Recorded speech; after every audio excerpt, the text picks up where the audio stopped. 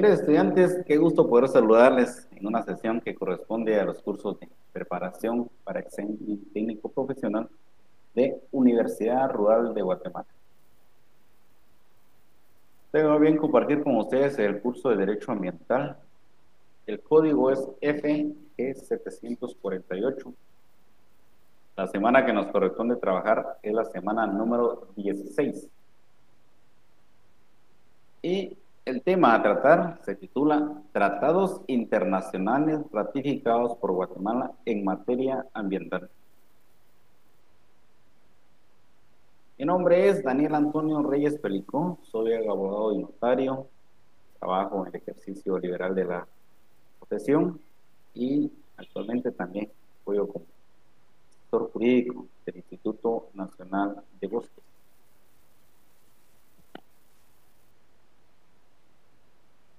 Antes de pasar a los objetivos, déjenme decirles que agradezco bastante a Universidad Rural la oportunidad que me ha brindado de compartir con ustedes un poquito del conocimiento que hemos ido integrando durante el transcurso de los años. Pero efectivamente con todo el aprecio a los estudiantes he tenido el gusto de conocer de forma presencial y a los que no, pero que integramos la enorme familia de Universidad Rural, pues, me da gusto compartirles lo poquito que hemos podido ir, adquiriendo con el transcurso de los años. Muy complacido por haber terminado ya 16 semanas y créanme que mis mejores deseos son para cada uno de ustedes. Quizá en el ejercicio de la cuestión nos vamos a ir conociendo. Me va a dar mucho gusto saber que existen profesionales de lectura que constantemente realizan las consultas a través del correo, consultas que efectivamente constituyen aprendizaje significativo y yo sé que son consultas que efectivamente les van a servir en el ejercicio de su profesión. Pues para todos ustedes como estudiantes de la familia rural y profundo agradecimiento, quedando siempre a la disposición cada uno de ustedes en la resolución de dudas, porque el conocimiento es un todo y debemos ir integrando ese conocimiento dentro de nuestra familia urbana. ¿Cuál es el objetivo para esta clase? El estudiante al finalizar la clase puede interpretar y aplicar los conceptos y definiciones contenidos en tratados internacionales ratificados por Guatemala en materia ambiental. Existe infinidad de, tratados internacionales, algunos pues, han sido ratificados por Guatemala y otros pues no, pero sin embargo constituyen el cúmulo de legislación ambiental internacional. Algunos existen pues efectivamente ya aplicándose acá en Guatemala. Recordemos que los tratados internacionales para ser implementados dentro, incorporados dentro de nuestra legislación, pues tienen que ser incorporados a través del órgano legislativo, el órgano ordinario de creación de las leyes, que es el Congreso de la República, integrado a través de un, acuerdo, un decreto para poder viabilizar la aplicación de estos convenios. Dentro de los convenios más importantes encontramos el primero, denominado Convenio para la Protección de la Flora, de la Fauna y de las Bellezas Naturales de los países de América.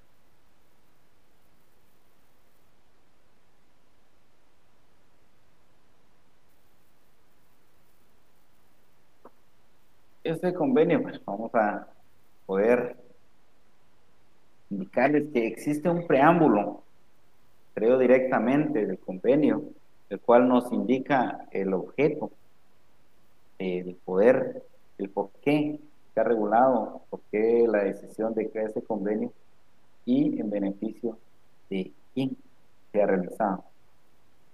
Indica Convención de la Protección de la, de la Flora, de la Fauna y de las Bellezas Escénicas Naturales de los Países de América, y en su preámbulo, que hace una exposición, indica que los gobiernos americanos, deseosos de proteger y conservar en su medio ambiente natural ejemplares de todas las especies de género, de su flora y de su fauna indígena, incluyendo las aves migratorias en un número suficiente y en regiones lo bastante vastas para evitar su extinción por medio, de, por medio al alcance del hombre, y deseosos de proteger y conservar los paisajes de incomparable belleza, las formaciones geológicas extraordinarias, las regiones y los objetos naturales de interés estético y los valores históricos y científicos, y los lugares donde existan condiciones primitivas dentro de los casos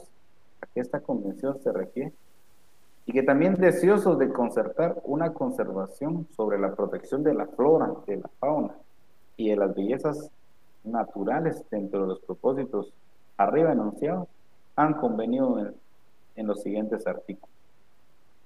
Entonces, si nos damos cuenta, la necesidad de preservar para no extinguir tanto la flora como la fauna es el objeto de la regulación de esta, de, este, de esta convención. Pero también es importante destacar que dentro de esta convención tienen especial atención los paisajes de implacable belleza, las formaciones extraordinarias, lo cual constituye entonces las bellezas escénicas objeto de protección. ¿Qué debemos entender entonces dentro de esa convención es necesario entonces poder retomar lo que siempre hemos, hemos denominado como una como la forma en la que en la de interpretación auténtica que han realizado eh, las personas que intervinieron en la convención y definieron que por parques nacionales serán las regiones establecidas para la protección y conservación de las bellezas escénicas, naturales y en la flora y en la fauna de importancia natural, de la que el público pueda disfrutar al ser puestos bajo su vigilancia oficial. Parque Nacional. Reserva Nacional, las regiones establecidas para la conservación y utilización bajo vigilancia oficial de las riquezas naturales en las cuales se dará a la flora y la fauna toda protección que sea compatible con los fines para los que son creados estas reservas. Contiene también la definición de monumentos naturales, indicando que las regiones, los objetos y las especies vivas de los animales o plantas de interés estéticos o valor histórico o científico a los cuales se, se le da la protección absoluta y monumentos naturales se crean con el fin de conservar un objeto específico o una especie determinada de flora o fauna, declarado, declarando una región, un objeto o una especie aislada, monumento natural inviolable, excepto para realizar investigaciones científicas debidamente autorizadas o inspecciones gubernamentales.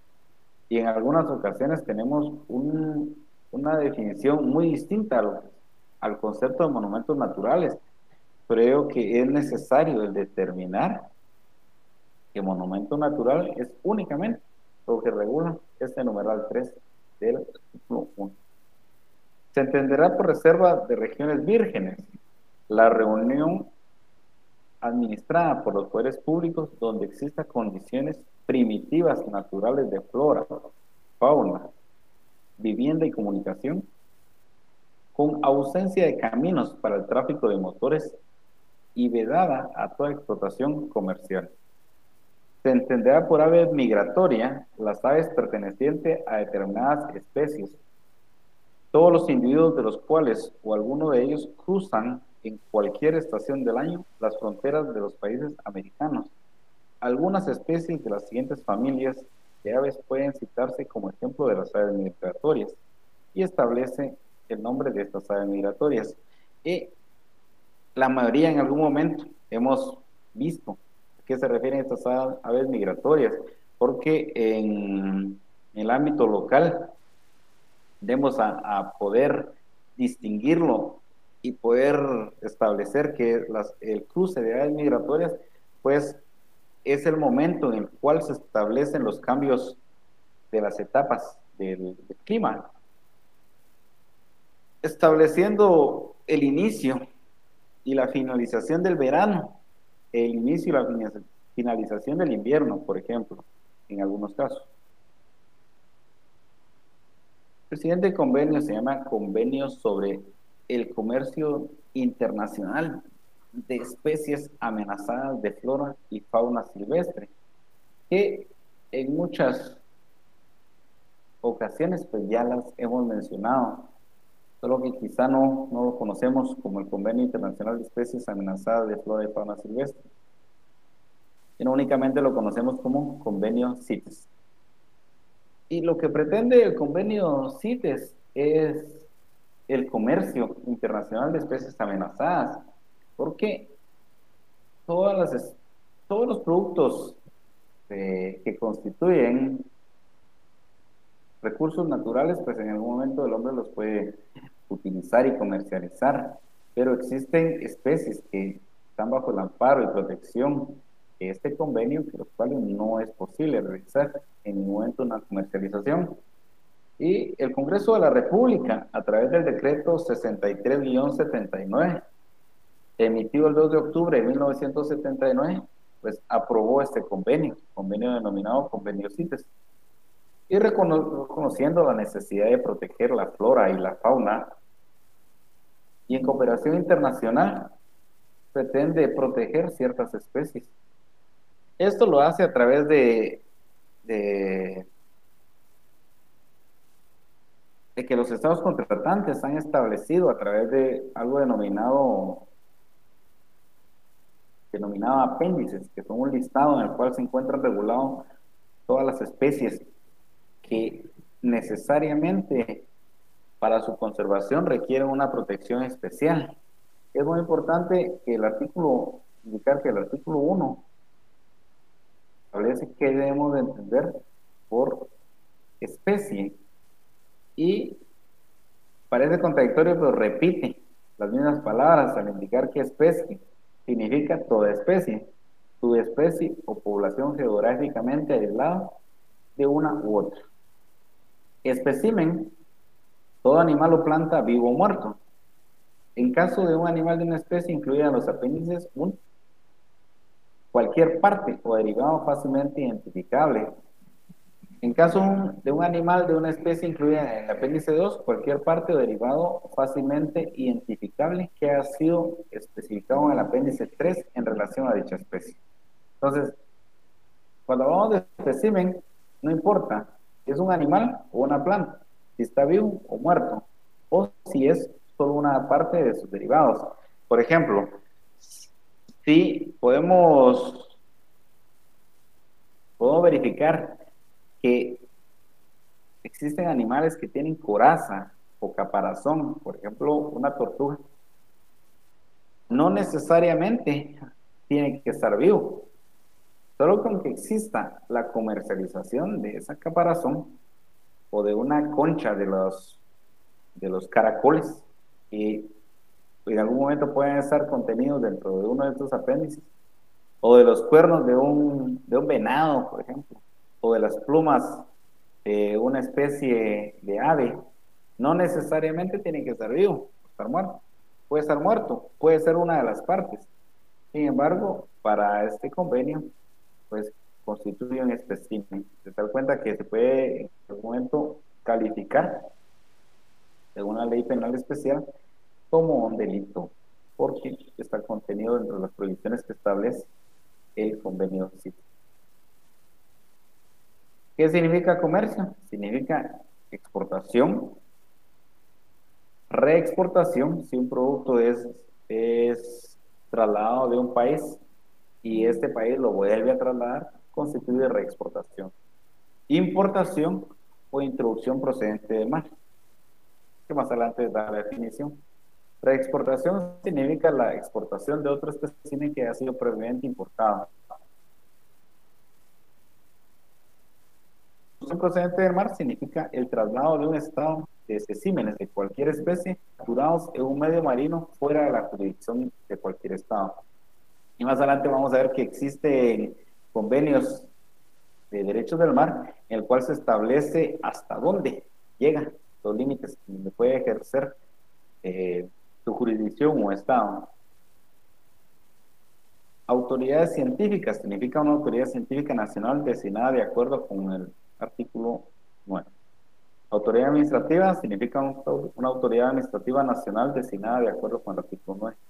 Y parte significa un Estado, parte del, cual la presente convención ha entrado en vigencia. Principios fundamentales. Acá donde indica que el apéndice 1 incluirá todas las especies en peligro de extinción que son o pueden ser afectados por el comercio. El apéndice 2 incluirá todas las especies que, si bien en la actualidad no se encuentran necesariamente en peligro de extinción, podrían llegar a esa situación a menos que el comercio de especímenes de dicha especie esté sujeto a una reglamentación estricta a fin de evitar utilización incompatible con su supervivencia. Y el apéndice 3 dice, el apéndice 3 incluirá todas las especies de cualquier, cualquiera de las partes manifiesten que se hayan sometido a una reglamentación dentro de su jurisdicción. Entonces, con un efecto excluyente. En el apéndice 1, solo las que verdaderamente se encuentran en peligro de extinción. En el apéndice 2, las que podrían, según las circunstancias de la comercialización, poner esas especies en peligro de extinción.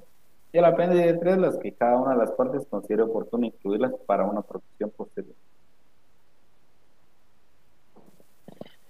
Los apéndices 1, 2 y 3 han sufrido cierta variación por la necesidad de renovar e incluir a ciertas especies, porque en, en estados partes pues, han sufrido degradación. Tal cuenta que esta última readaptación de los apéndices 1, 2 y 3 entró en vigor a partir del 22 de junio de 2021.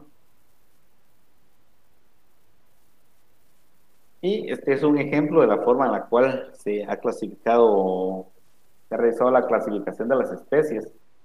El, nombre de la especie que corresponda y la forma en la que ha sido clasificada, si está dentro del apéndice número 1, apéndice número 2 o apéndice número 3, según las características eh, de cada especie y de cada una de las partes que la ha incorporado mediante el procedimiento respectivo.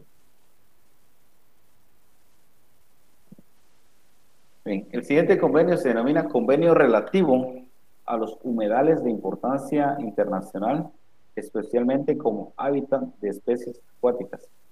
Y esta también en algún momento la hemos mencionado, pero quizá no la recordamos pero este convenio se denomina convenio Ramsar. Para abreviarlo, ¿por qué se denomina convenio Ramsar? Porque fue aprobada en la ciudad de Ramsar, en Irán, y esto fue realizado el 2 de febrero de 1971. Pues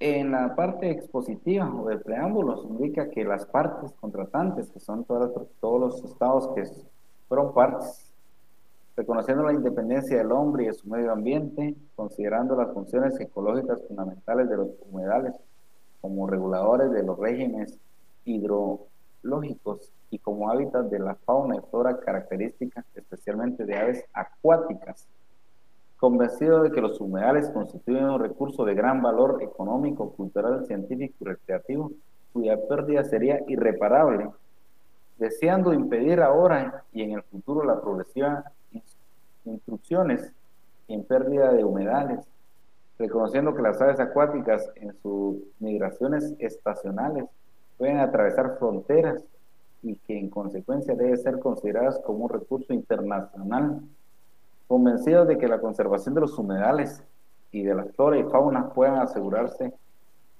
armonizando políticas nacionales previsoras con una acción internacional coordinada.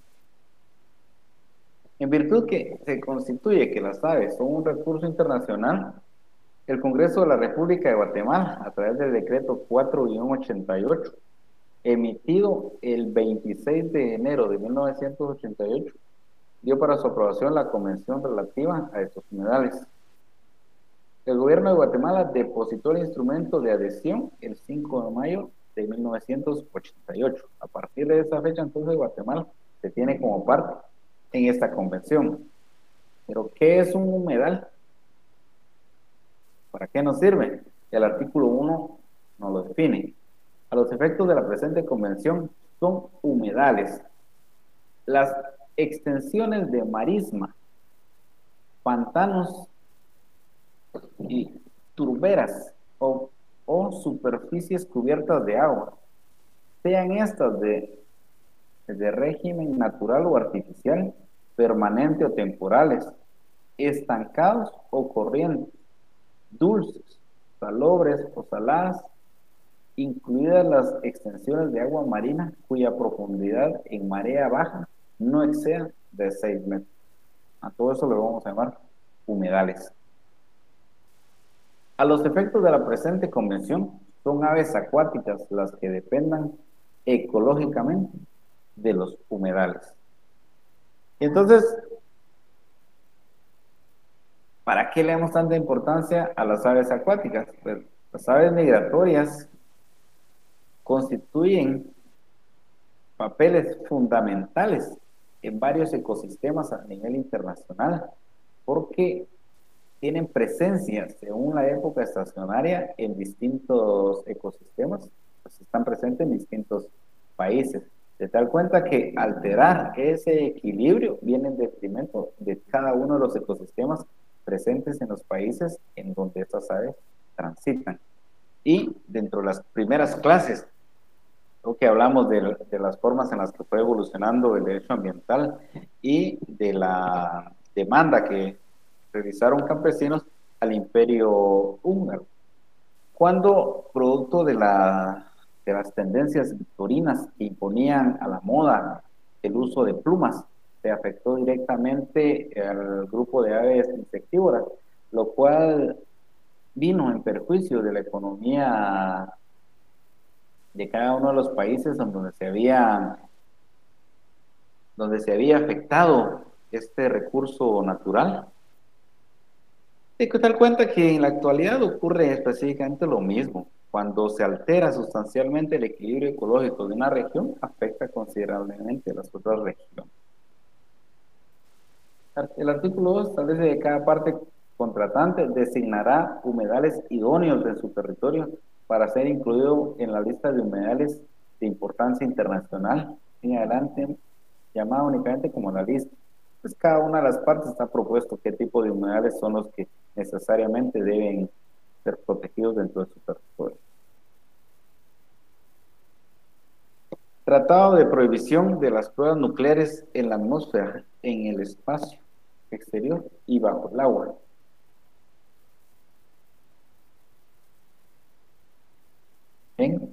Este, este tratado fue firmado el 5 de agosto de 1963 y se firmó en Moscú sobre y trata sobre la prohibición de los ensayos por el que se proscribían las pruebas de armas nucleares en la atmósfera, en el espacio ultraterrestre y bajo las aguas.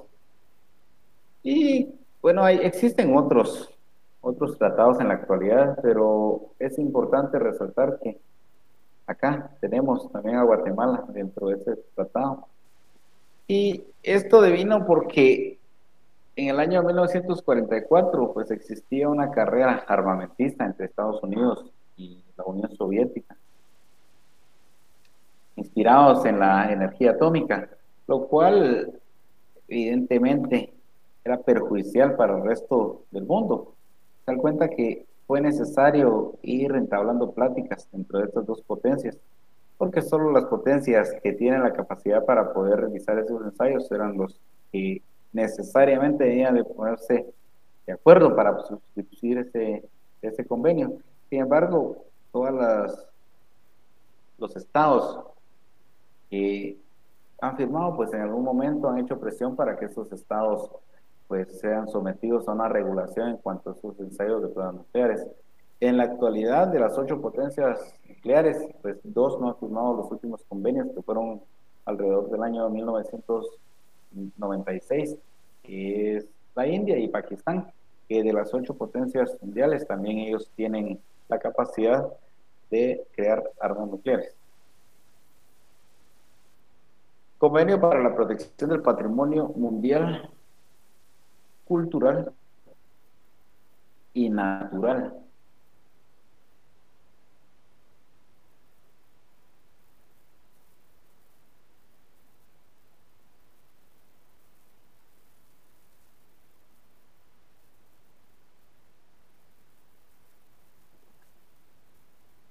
Bueno, esta convención indica, tratando, pero que fue celebrada en 1972, indica entre considerando que tratando que el patrimonio cultural y el patrimonio natural están cada vez más amenazados de destrucción, no solo por las causas tradicionales del deterioro, sino también por la evolución de la vida social y económica que las agrava con fenómenos de alteración o de destrucción aún más terribles, temibles, perdón, considerando que el deterioro de o la desaparición de un bien del patrimonio cultural y natural constituye un empobrecimiento nefasto del patrimonio de todos los pueblos del mundo. Y considerando que la protección de este patrimonio a escala nacional es en muchos casos incompletos dada la magnitud de los medios que requiere y la insuficiencia de los recursos económicos, científicos y técnicos del país en cuyo territorio se encuentre el bien que ha de ser protegido. Teniendo presente que la institución de la UNESCO, la organización, ayudará a la conservación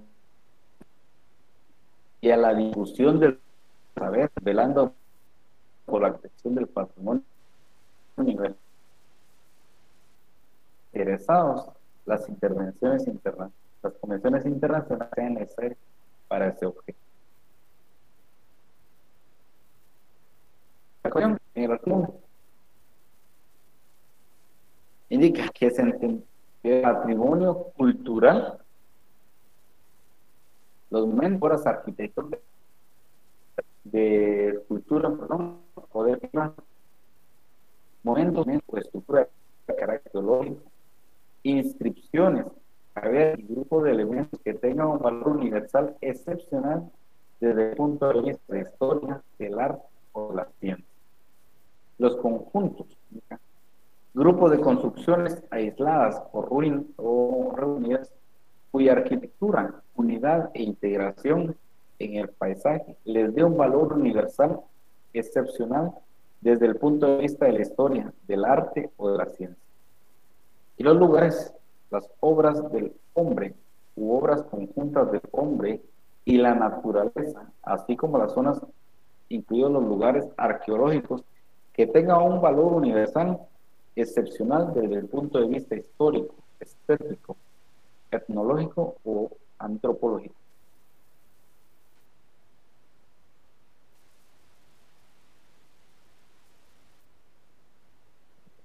Y continúa apuntando en el artículo 2, respecto de la presente convención, se considera patrimonio natural. Vemos que el primero es patrimonio cultural. Los monumentos naturales constituidos físicas y biológicas o por grupo de esas formaciones que tengan un valor universal, excepcional desde el punto de vista estético o científico. Las formaciones geológicas y fisiográficas y de las zonas estrictamente delimitadas que constituyen el hábitat de especies animales y vegetales amenazadas que tengan un valor universal excepcional desde el punto de vista estético o científico y los lugares naturales o de las zonas naturales estrictamente delimitadas que tengan un valor universal excepcional desde el punto de vista de la ciencia, de la conservación y de la belleza natural. En cuanto a la Convención de las Naciones Unidas sobre el Derecho del Mar. Vamos a indicar que los derechos del mar tratan de establecer las zonas en las cuales el Estado puede hacer uso efectivo de las limitaciones y tener acceso directamente al uso y aprovechamiento del mar.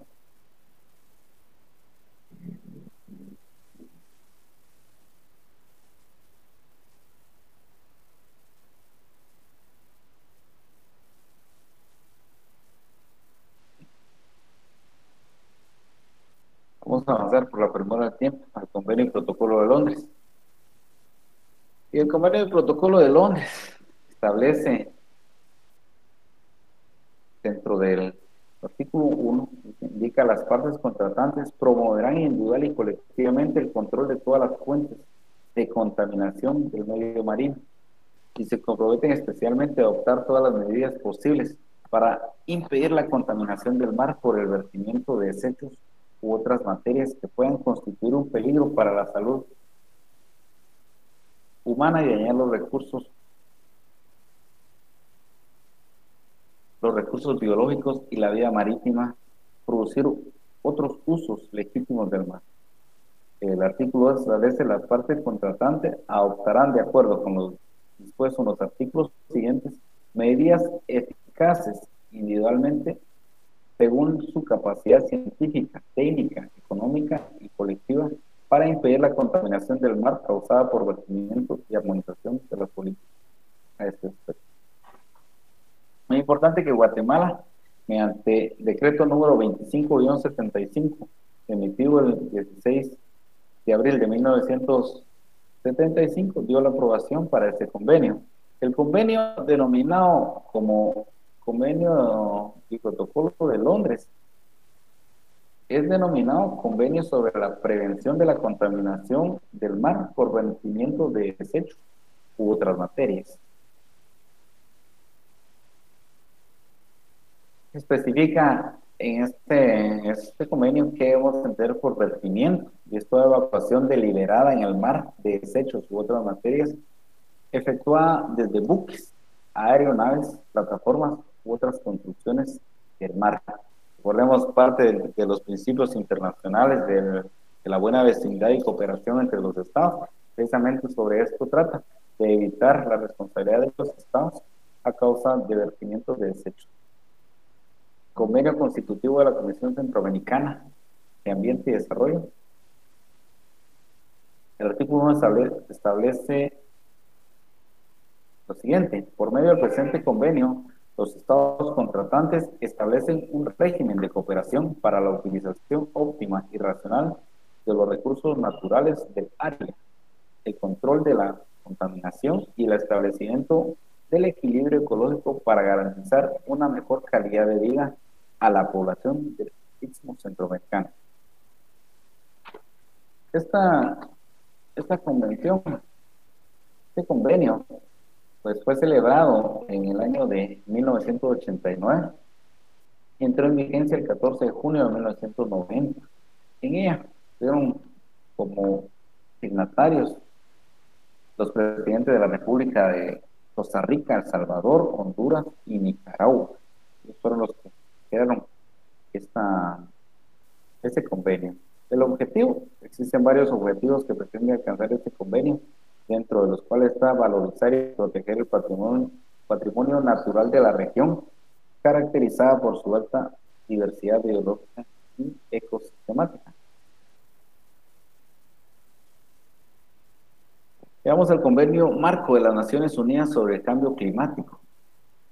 Y surge con la necesidad y por la conciencia que se toma acerca de los efectos adversos del cambio climático, lo cual lo define a la perfección el artículo 1 en sus definiciones, al indicar que por efecto adverso del cambio climático se entiende los cambios en el medio ambiente físico o en una biota resultante del cambio climático que tiene efectos nocivos significativos en la composición, la capacidad de recuperación o la productividad de los ecosistemas naturales o sujetos a ordenación o en el funcionamiento de los sistemas socioeconómicos o en la salud y el bienestar humano. Por cambio climático, que debemos entender, se entiende un cambio en el clima atribuido directa o indirecta, individualmente a la actividad humana, que altera la composición de la atmósfera mundial y que se suma a la variabilidad natural del clima observada durante periodos del tiempo comparables. Continúa apuntando en sus definiciones que debemos entender por el tema climático, por emisiones, gases de efecto invernadero, regional de integración económica, por depósito, por sumidero, por fuente. Y el artículo 2 establece el objetivo. El objetivo de la presente convención y de todo el instrumento jurídico conexo que adopte la conferencia de las partes, que todas las partes que, que han suscrito el convenio, es lograr la conformidad de las disposiciones pertinentes de la conservación, la estabilización de la concentración de los gases de efecto invernadero en la atmósfera a un nivel que impida interferir antropogénas peligrosas en el sistema climático, ese nivel debe lograrse en un plazo suficiente para permitir que los ecosistemas se adapten naturalmente al cambio climático, aseguren que la producción de alimentos no, no se vea amenazada y permita el desarrollo económico prosiga de manera sostenible. Y el último convenio que vemos es el convenio sobre la diversidad biológica. Y este convenio el Congreso de la República indica que en el decreto 5-95 de fecha 12 de febrero de 1995, pues dio su aprobación para que el convenio de Naciones Unidas, suscrito en la ciudad de Río, el 13 de junio de 1992, que ese instrumento fue ratificado. De ratificación fue depositado en la Secretaría General de la Organización de Naciones Unidas con fecha 10 de junio de 1995 y entró en vigor para Guatemala el 8 de octubre de 1995. Y recordamos dentro de la evolución del derecho ambiental, este es el segundo convenio más importante después de la, de la Convención de Estocolmo y esta es la denominada Convención de Río.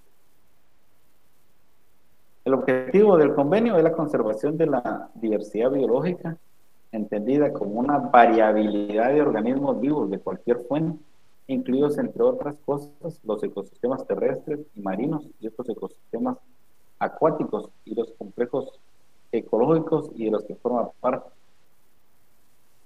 Bien, dentro de la diversidad biológica, pues Guatemala posee una especie que es única en el mundo, la cual contempla una variación de, de maíz que es única en su especie en el mundo, lo cual merece especial atención y sobre todo una especial protección.